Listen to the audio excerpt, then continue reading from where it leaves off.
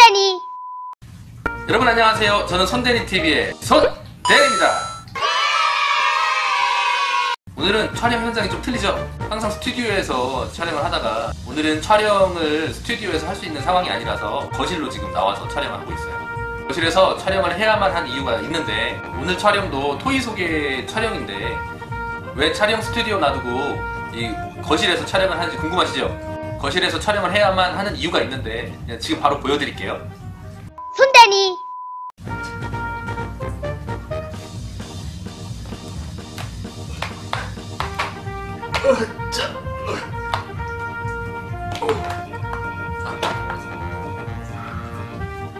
아, 이 친구가 그 이유입니다. 손대니 사람만한 피규어죠, 사람만한 피규어. 전고 130cm 정도 되는 피규어고요. 저희 큰아들 키가 그 정도 되는 것 같아요. 이 친구 옆에 서면 비슷하더라고요, 보니까. 뭐이 친구로 소개해드릴 것 같으면 전에 소개해드렸던 카오스 피규어의 한 종류인데 사실 진품은 아니에요. 이 제품 진품 같은 경우는 현재 뭐 1억 원을 호가한다고 하더라고요. 제가 그 정도의 능력자는 아니라서 뭐 진품을 구할 수는 없었고요. 뭐 그래도 전시용으로는 아주 좋은 것 같아요. 제 허전함을 달래주는 그런 친구입니다. 일단은 덩치가 아주 킹왕짱이고요. 전반적인 뭐 디테일도 나쁘지는 않습니다. 색감도 괜찮고요. 가동을 설명드리자면 목 이렇게 조금씩 움직이고요. 팔 이렇게 움직이고 예전에 아마 보셨을 것 같은데 그 빅뱅 멤버의 탑이라는 친구가 뭐 요거를 진품을 몇 개 가지고 있다고 얘기를 듣긴 했었어요.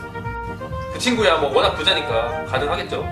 저는 부자가 아니라서 어, 손도 조금 움직여요. 손도 조금 움직이고 회전으로 살짝 살짝 움직이고요. 그리고 발, 발 부분 조금 움직이고 가동은 뭐 별로 의미가 없는 제품이에요. 이렇게 세워놓는 세워서 전시하는 용으로 사용되는 피규어라 그래서 이 친구한테 제가 애정을 좀 많이 쓰고 있어요.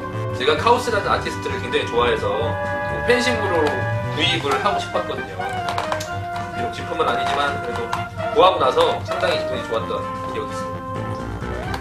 어, 이 친구를 엄청 좋아해서 제가 이 친구한테 선물도 줬었어요. 궁금하시죠? 어떤 선물이었는지. 잠시만요. 제가 이 친구 주려고 이렇게 옷도 따로 마련을 해놨다는 거 아니에요? 펴볼게요. 이렇게 해서. 자.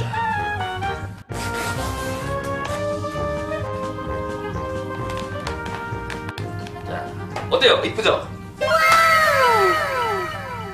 제가 참 좋아하고 사랑하는 친구입니다.